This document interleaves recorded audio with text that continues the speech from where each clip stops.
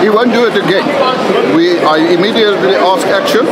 The person or the prisoner that has been removed out of the facility is also charged in terms of the Correctional Services uh, Act uh, for the illegal possession of a cell phone. I am waiting for a report. How did it happen?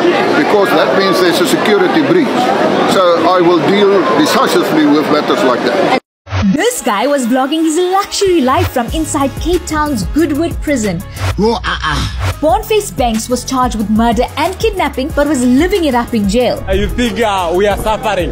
No, my brother, we are doing extremely fine. Look how, how happy we are. Uh, this morning we had breakfast. And in the afternoon we had lunch. Yeah. And we had supper. And we are about to have dinner, my bro. We are not even paying rent. No. We're not buying electricity. No. nothing, my brother. We don't even cook food. They give us food for free. Banks used his Bonnie Banks case account on TikTok to share how good life was inside prison. We don't need toiletries. They We give give for for free. And the education is gonna be free in prison.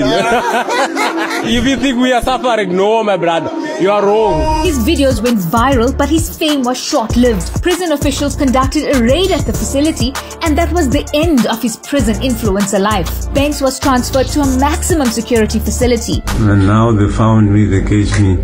Now I'm suffering. Minister of Correctional Services blamed corrupt officials in prisons and says he is working to fire them.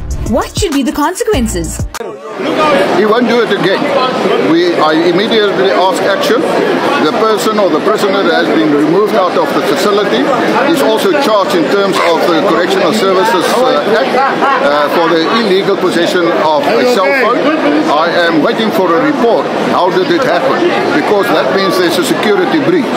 So I will deal decisively with matters like that. Ladies and gentlemen, my name is Dr. Jones, Why Not TV. Please subscribe. Bye for now till we meet again next time. Subscribe.